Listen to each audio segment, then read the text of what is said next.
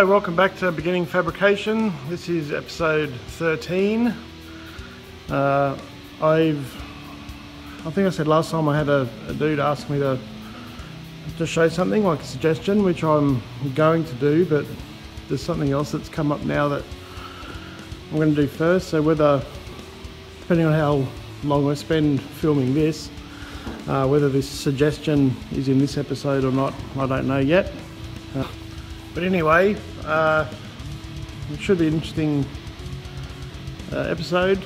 Um, another guy asked me if I could show how I use the Bricky's bolster. Um, and that was only a couple of days ago, so that works in really well with his job that just came in yesterday. So I'll nick off and show you what we're doing today. Cheers. So a dude that I've met through Facebook named Steve put me onto the guy that owns this bonnet for a 55 F100. I think this one's the panel truck. Haven't actually seen the car yet. Um, and it's got a hole in it for where a ugly ass bonnet scoop used to be screwed onto it. So my job is just to fill the hole. Um, so I'll clean all of this gunk out and get all the edges cleaned up eventually. But the first thing we're all going to do is just get a basic measurement, which is I always go over. See my ruler is 20 mil over.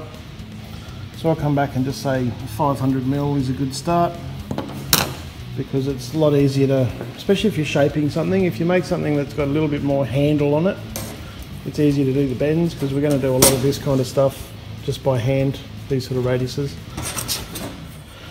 And then width-wise, I'm not going to bother trying to cut out far further than these holes, I'm just going to stick with the actual main hole itself.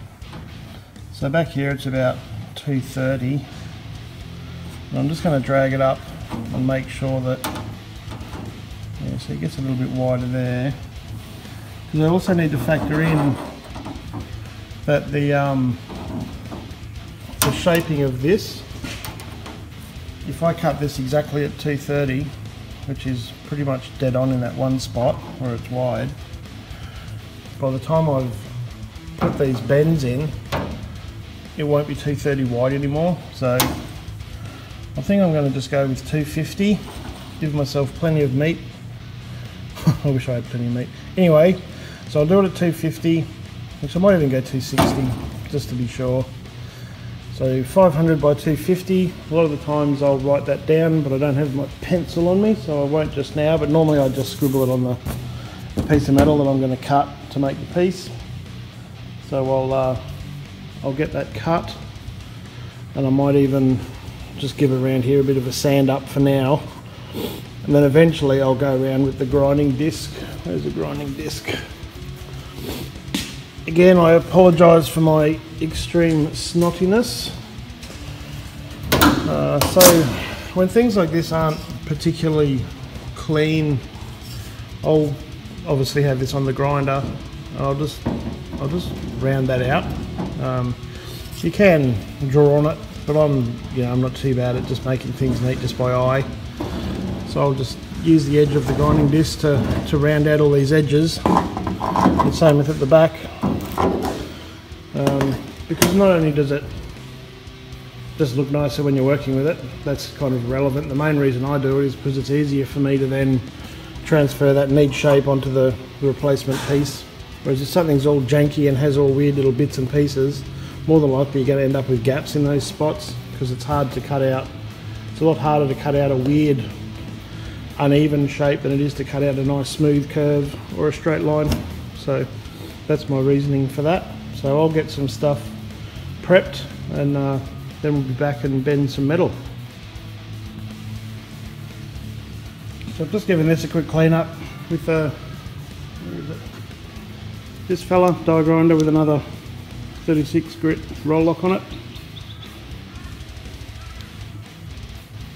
And I've cut my piece and mark the center line because it'll have the the the rib shape will have to go on that.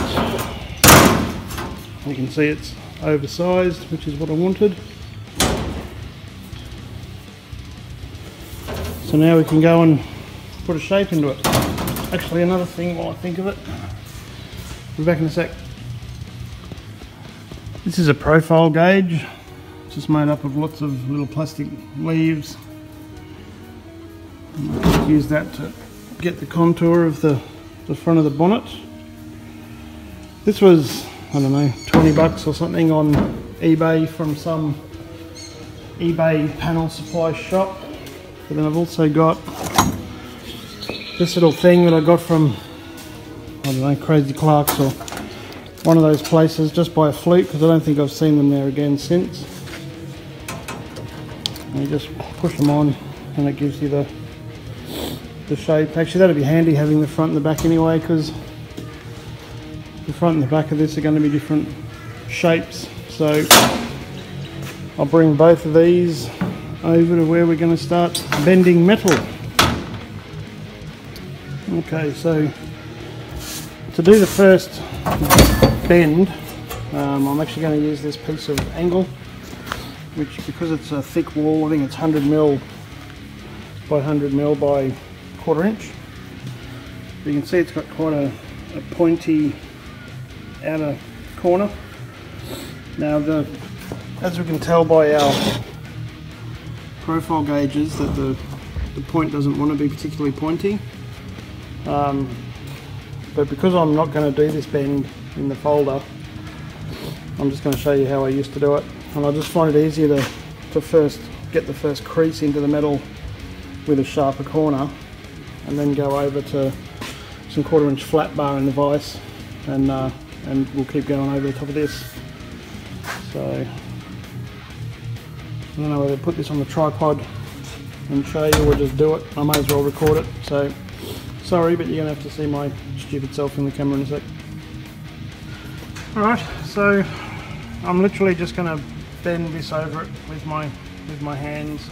Because my piece of metal is a little bit shorter than because this piece of metal is shorter than my job, I just have to be wary that I've got the, the thing lined up properly.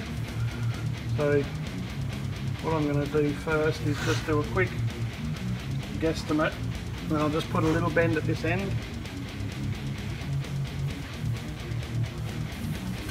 You can see it's started the bend but it's very minor. And then I can use that to set this end you just need to move around the piece a bit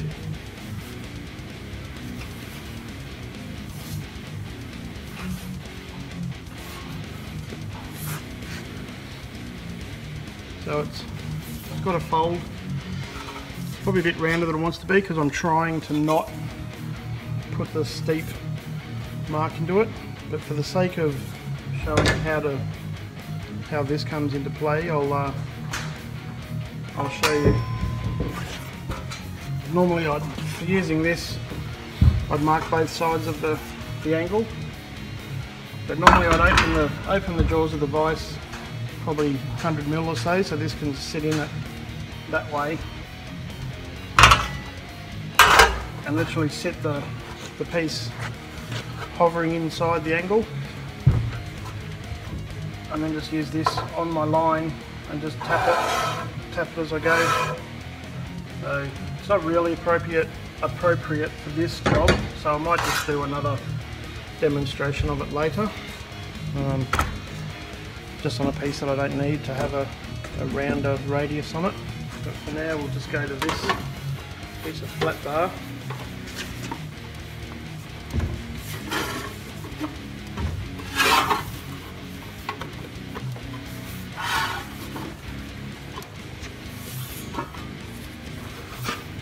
Starting to get a radius now. Doesn't matter so much about the ends because even if the end's got a really pinched fold where we don't want it to, we can just get a different, like various size bits of pipe and use it as a dolly to flatten that out. This kind of radius that we've got going on here is probably more like what we need. So I'm just going to give it a little bit more because it's easy enough to undo it.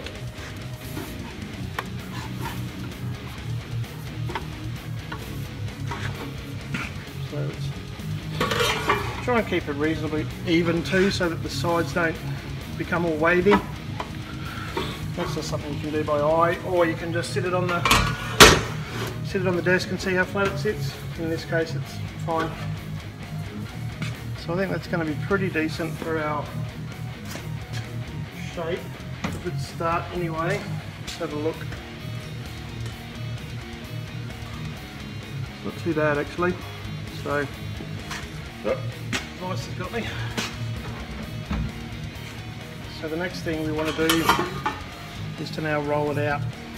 So there's a couple of different ways we can do that. Um, just trying to think what's going to be a good way to show you. If you know one way that's really high tech, let's just roll this back there.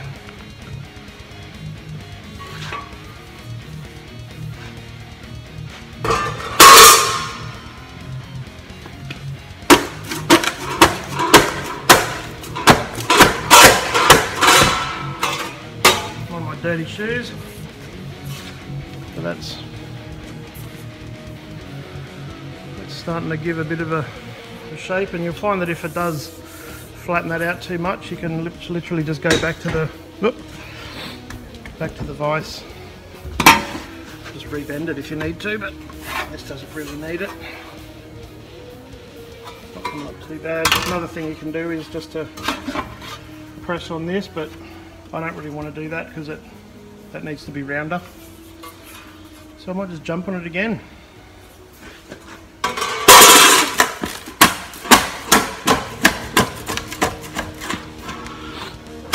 And also because the the taper is front and back, you can um, jump, jump on one end a little bit more than the other.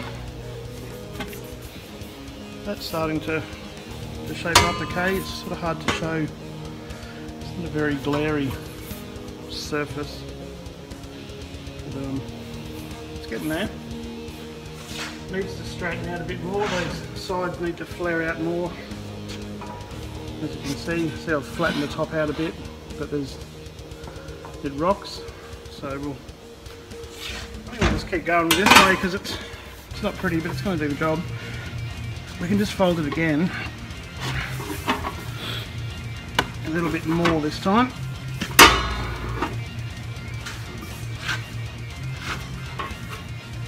and jump on that again. Actually, before that I have to blow my nose. So I brought in another tool, a little bit of cut off pipe, um, just so I could use the plastic hammer just to round off, round off these bits of it. So it's starting to, starting to shape up a little bit now.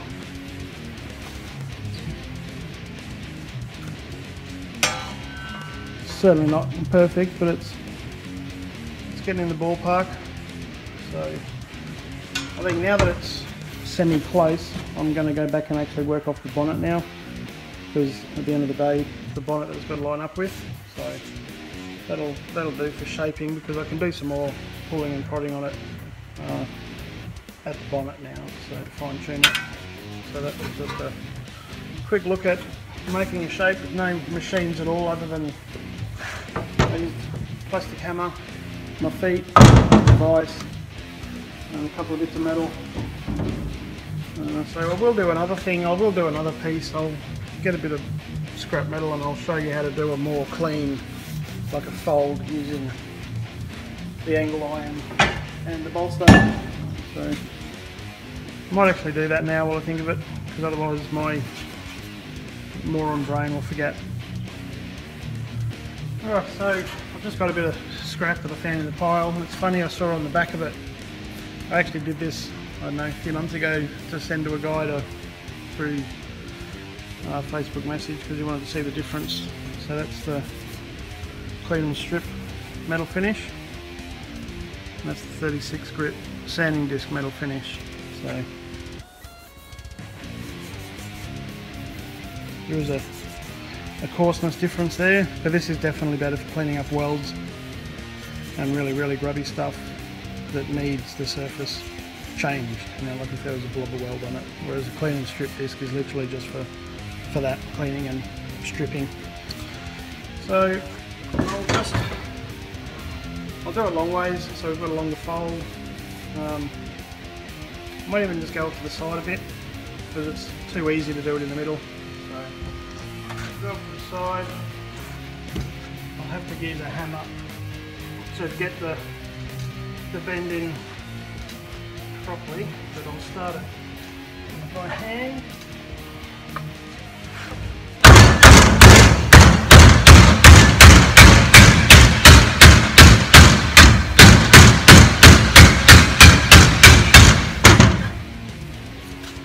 You can see that's a nice ugly belted in fold. Now, sit this in there.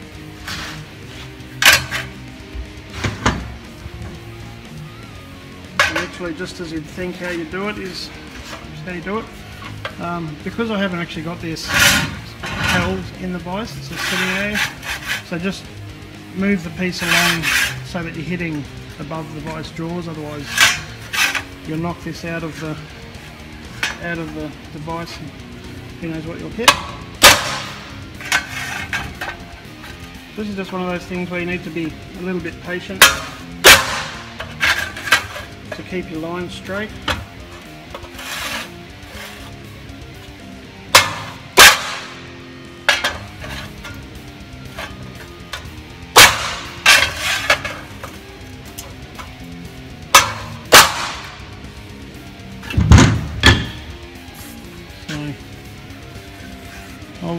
I'll turn you off and I'll just keep bashing this because you don't need to watch me do this and then I'll show you how it turns out. Okay, so as you all know I'm not very bright and I've used this same piece that I used before which I shouldn't have because it's got a, a really radius inside. So you can see using the, the, the Bricky's bolster it leaves a little bit of a mark in the metal but nothing that's an issue. It's not like it tears the metal or anything. Um, and because I did it in stages as I went along using the same sort of pressure it's a nice straight fold. Um, you know it doesn't have a bow in it or anything like that. So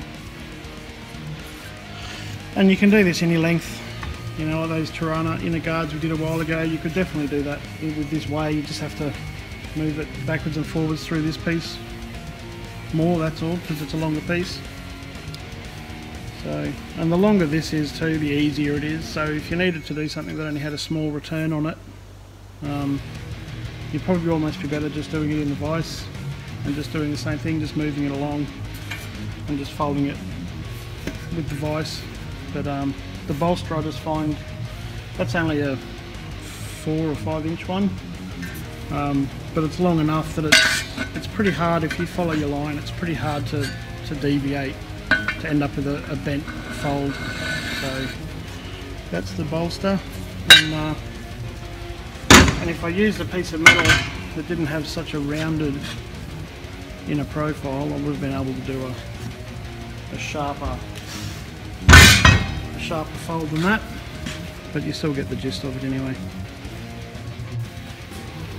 so there's our patch just sitting on the bonnet. Um, the bonnet has a bit of a curve in it, uh, so the I have actually curved that a little bit just by bending it. Actually, just bent it over the, over that, um, and obviously it's sitting up a little bit, but that's because it's this has got the edge has got all dints. I don't know if you can see that it's all wobbly as well. So of this part here is on the high spot. So next thing I do I think is I'll hammer and dolly up this edge and then I'll do with the grinding disc like I said and clean up these corners. And then we can transfer some of the shape. So obviously I'll trace that much of it just by sketching it from underneath. But then I'm going to get to here and obviously I won't be able to get my pencil inside of that so I'll make a cardboard template for this section and then just join it in. So for now though, I'll straighten this up. Alright, so I've tapped around all these edges and put them a little bit rounder, a bit smoother in their radius. And for where this dent here was, I just used a bit of flat bar underneath and tapped the dent down because obviously a dolly isn't going to fit into there. Then I've used 3 mil. this is 4 or 5. I've used 50 by 3 mil as a dolly before and it works fine on thin sheet metal.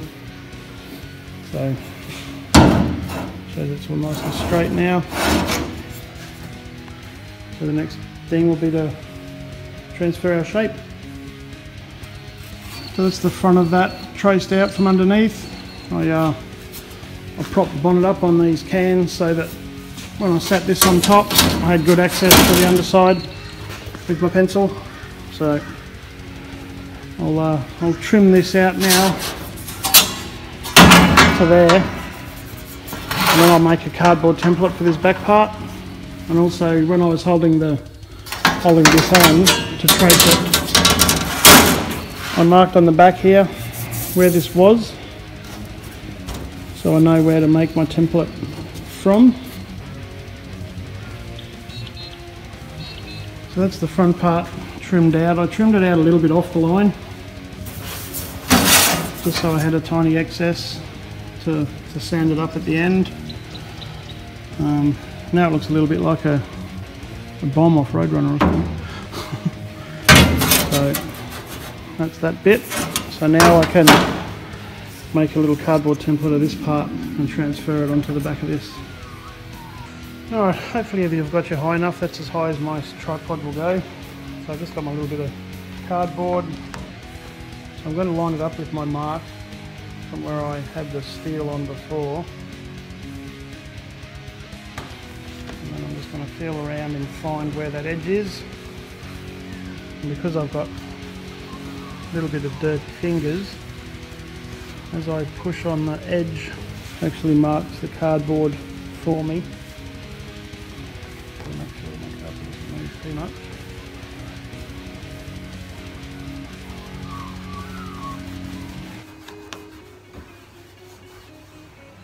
And then if your fingers are super clean that's when you just use a pencil. You still crease the cardboard and then just mark the edge. As you go.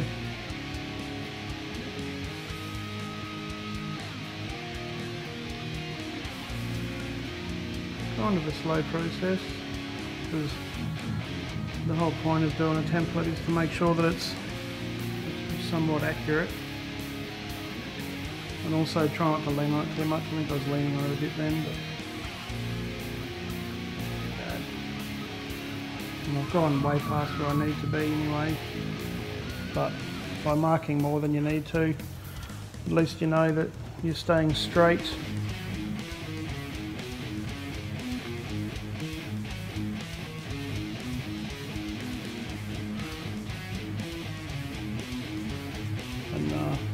Main reason I wanted to keep this line, well, keep it lined up with this is so when I transfer this onto the piece of steel, I know that the, they're going to be the same you're going to start at the same point.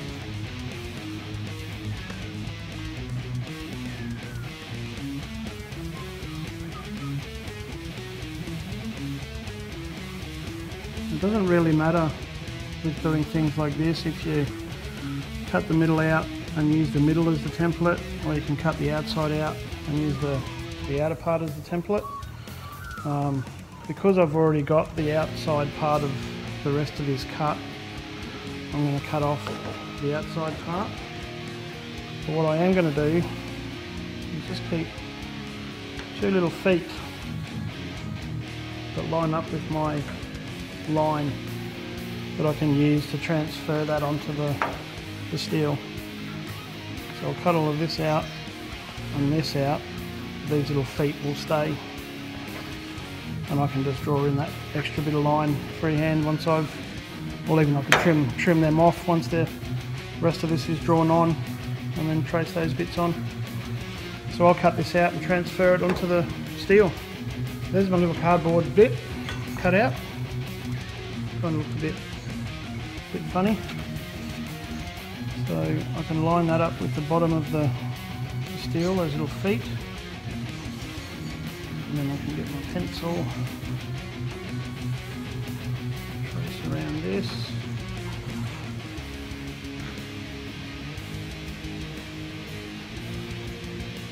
And there's the rest of my mark out. These two little pieces I can, I can just freehand those. Again I'm going to give this about a little a millimetre or so extra as I cut it. And, um, and that'll be the rest of my little infill piece made. I think we need to do something with this. We do, what does it look like?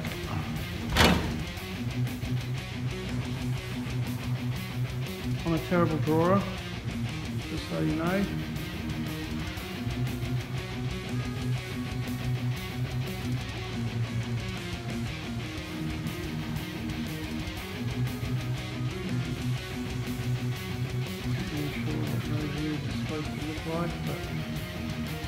Probably that. And then do fat body on him, send it to me, I'll a big fat body. And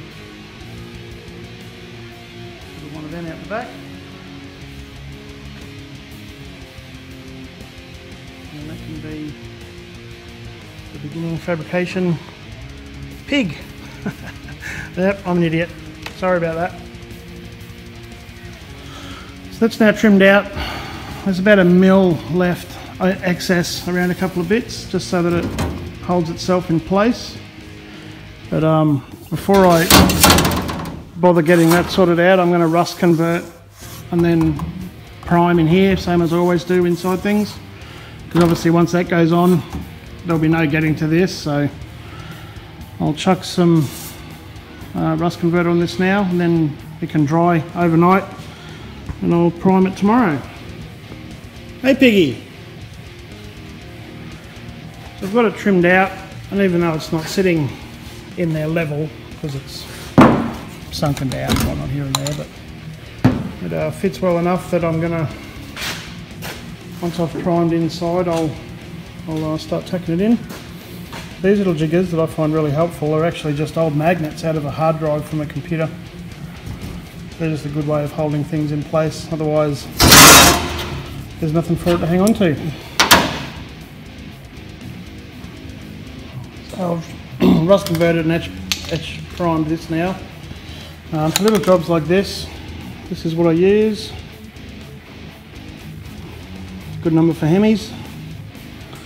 Um, obviously, if you're going to do a whole car or inside a, a full inner quarter panel or something, I'd, I'd use a two-pack epoxy, but for little things like this, it's just quicker and easier to, to do it this way. I figured I may as well just show the last little bit that I bother showing of this job. Just got this tacked in. So we can have a quick sand up just to knock these MIG tacks down and then I'll then I'll TIG it. So it's just butt welded in, there's no no overlap or anything. As you can see by the there's little gaps here and there but they'll all suck in as it gets welded. And uh, I think we need to come up with a name for this guy. What do you reckon? Well, that's it for episode 13. Uh, I I didn't get any chance to do the the suggestion job, so I'll uh, I'll put that in the next episode because I think it's a good suggestion. And uh, so I hope you didn't mind that I put so much effort this episode into that F100 bonnet. Um, it's just a good idea of good way of showing how to shape something that you know you sort of might have thought would be hard to shape but just with a bit of back and forth and a little bit of effort you can shape it with really basic tools and uh, that same sort of technique can be used if you have to make a small section of floor uh, with ribs in it or something you can you can do that same thing. So I, uh, I don't know if you can see I've, I've welded it all yesterday. So it's welded I just need to sand it and panel beat it. I also welded the corner of that bonnet. So that's pretty exciting. Anyway, I'll stop yabbering on. Thanks for watching, and uh, again, any suggestions that you you have, just feel free to ask, and I'll see you next time. Cheers. Bye.